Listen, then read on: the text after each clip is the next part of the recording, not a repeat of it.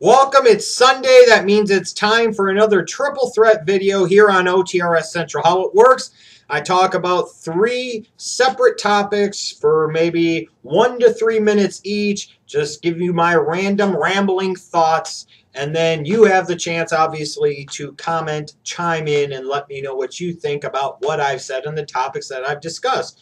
And yes, in the future, I'm going to be doing this where other YouTubers are going to be able to do their segments in this triple threat video series, and that's going to be coming up very soon. And if you want to take part in it, I'll put the information in the description box on what you need to do to be able to take part in it. So let's go triple threat time, baby. There have been some reports recently talking about the WWE maybe cooling off on Cesaro a little bit and not maybe being as hot on him as they were maybe once heading into WrestleMania season or at WrestleMania time. And I don't think you really need any reports, frankly, to see that this is clearly the case. The WWE has clearly cooled off on Cesaro. You go from having him split with the Real Americans and win the Andre the Giant Memorial Battle Royal, then for some dumb dick reason you associate him with Paul Heyman. And remind me again, people, how did that benefit Cesaro in any way, shape, or form? Exactly, it fucking didn't. And now you look over the past few weeks, he's lost to Kofi Kingston a couple times. Now he's lost to Big E Langston.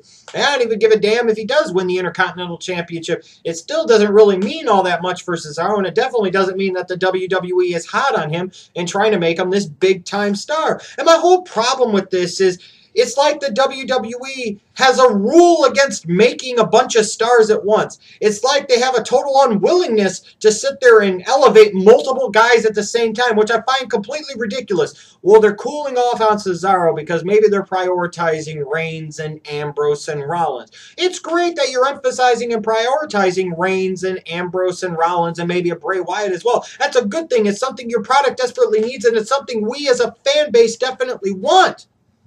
But where is it written in the wrestling rule book or in the sports entertainment rule book that you can't try everything possible to make Cesaro a freaking star too? Why sit there and make four guys future big time players and stars when you can make five, six, eight, or nine? I mean, let's look back at the company's history during the Attitude Era and even the build up to the Attitude Era. Between the time frames of, let's say, 1997 and 2000, here are the different stars that the WWE made in the WWE way. Stone Cold Steve Austin, The Rock, Triple H, Mankind, Big Show, Kurt Angle, and Kane.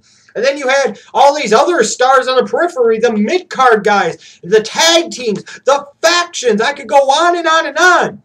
If you took the WWE's philosophy of today and you applied it to that period back then, you would have maybe gotten Austin and The Rock, and those would have been the only two fucking stars that they really would have tried to develop or make better. Why? Why would you sit there and restrict yourself? Why would you sit there and handicap yourself? Why would you sit there and limit yourself on the number of potential big stars that you can make? Why in the fuck can't you make Cesaro a star at the same time that you're making a Roman Reigns, a Seth Rollins, a Dean Ambrose, a Bray Wyatt, and maybe a couple other individuals into stars too? This makes absolutely no sense to me. And all the while, what ends up happening is it seems like the WWE are like a bunch of six-year-old kids. They don't want anybody else playing with their fucking toys. But when they get bored with them, they're done with them and they don't care about them. It's stupid. I've been pleasantly pleased with TNA over the past several weeks. They've been improving, they've been getting better, and you know, this makes me feel a little more optimistic about the company's direction for the rest of 2014, most notably heading into Bound for Glory. And I guess my whole thing is, is I'm kind of starting to look ahead, and that's something that I have a tendency to do, and I try to look forward and envision where a company can go, where the creative direction might go, who's going to be where and when. And I'm just thinking about Bound for Glory, and I'm wondering who should win the TNA title at Bound for Glory. Now, I'm not here to necessarily give a definitive answer. I'm just here to kind of float out the subject and kind of get your thoughts on it too, and maybe present you with a few options. Since you're in Tokyo, Japan, would it make some sense to maybe have Sanada win the TNA World Heavyweight Championship, seeing as how the WWE, you know, just signed Kenta to a developmental deal and he's going to be in the fold, why can't TNA sit there and say, well, you've got Kenta and that's phenomenal and that's great, but we've got a Japanese guy in Tokyo wrestling in the main event for the title and having him win the title in Tokyo, everybody wins, especially TNA. WWE's got their guy in developmental, we've got our guy at the top of the company. You know, maybe there's something there to that. Uh, maybe it should be Bobby Roode. You know, I'm looking at a guy here that to me now has become the franchise piece for TNA. And to me, if you want to appeal to TNA fans, there are a few better men you could have at this point be that world champion than Bobby Roode. You know, some people might sit there and say because of his notoriety, his work over the years, his work in Japan, that maybe with especially him going into the Hall of Fame, maybe you'd put a Bully Ray in that spot as a babyface against a heel. And maybe you could, and maybe it would work. But again, do you really need to go down that avenue again? Some people might say a Jeff Hardy, but again, you know, at some point in time, do these guys start to bring you a diminishing return every time you try and push them to the top and make them into a top guy? If you said, well, if a Kurt Angle was healthy by that time, maybe you would put him there. And you know, Kurt Angle is a type of talent that could pretty much main event any TNA pay per view and it would get over and work to a degree. However, again, similar to a Bully Ray and Jeff Hardy, you're ultimately, in my opinion, pushing another company's former top guy to the top of your company, which, if anyway, sits there and makes it seem like you're second rate. And then you could sit there and say Samoa Joe, and this is again somebody that would appeal very much to the TNA fans, like a freaking Bobby Roode would, you know, and maybe with some work over in Japan, Samoa Joe has a familiarity, and maybe he would work too, and it would be kind of like a nice uh, feeling for the product, and would be a nice feeling for the fans of TNA. I said, I'm not really sure. It's hard to, for me to envision a direct path for anybody at this point in time. I'm just wondering who you think should win the title at Bound for Glory. So the big bombshell, it wasn't really, I guess, a bombshell this week, is that the WWE officially moved CM Punk to the alumni section of WWE.com. And I think they also removed his merchandise from the website because he's no longer under contract with the company. And CM Punk even, I think, took to Twitter to address this situation at least a little bit. Now, finally, after almost six damn months, can those of you that are still holding on and hanging on to hope admit once and for all that this is not a work that CM Punk has actually done? CM Punk is gone from the WWE. Can we admit that now? Can we acknowledge that now? You know, and I understand that this still aggravates a lot of you. This still pisses a lot of you off, and I can't uh, blame you. I mean, I understand it because you're talking about CM Punk, who was the rare entertaining guy in, frankly, a not very entertaining era.